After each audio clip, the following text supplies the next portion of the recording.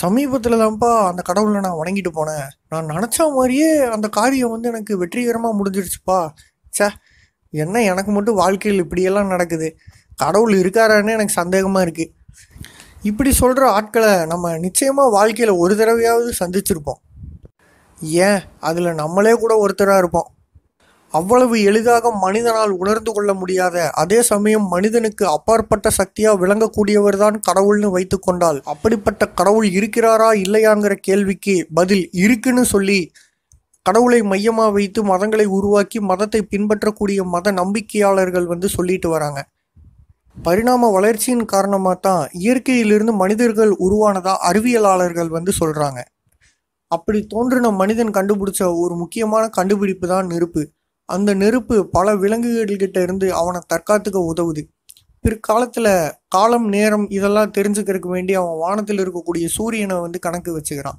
அப்படி சூரியனை கணக்கு வச்சுக்கிட்டு அவன் விவசாயம் வந்து செய்ய ஆரம்பிக்கிறான்.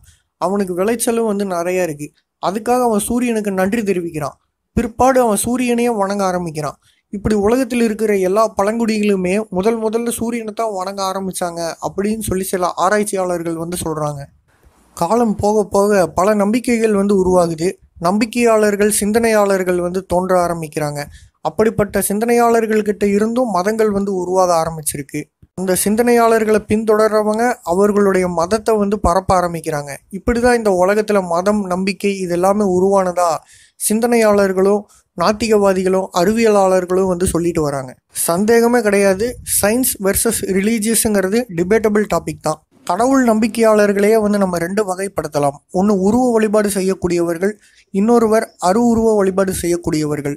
இந்த உருவ வழிபாடு செய்யக்கூடியவர்கள் என்ன சொல்லுவாங்கன்னா நம்புறவங்களுக்கு தான் அது கடவுள் நம்பாதவங்களுக்கு அது என்றைக்குமே கல்லாத்தான் தெரியும்னு சொல்லுவாங்க.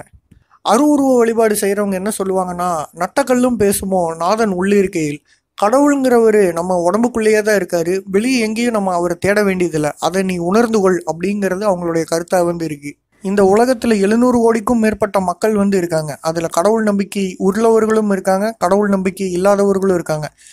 கடவுள் நம்பிக்கை உள்ளவர்கள் தங்கள் வாழ்வில் கடைபிடிக்கக்கூடிய விஷயங்களுக்கு அறிவியலை தொடர்பு படுத்தி சொல்லக்கூடிய காரணங்கள் என்ன அப்படிங்கிறத தான் நம்மளுடைய இந்த தொடர் வந்து விவரிக்க இருக்கு. இந்த தொடர் பதிவுகளுக்கு உண்டான உங்களுடைய ஆதரவும் லைக்கும் ஷேரும் எங்களை ரொம்பவுமே என்கரேஜ் பண்ணும். தொடர்ந்து இணைந்திருங்கள். நன்றி வணக்கம்.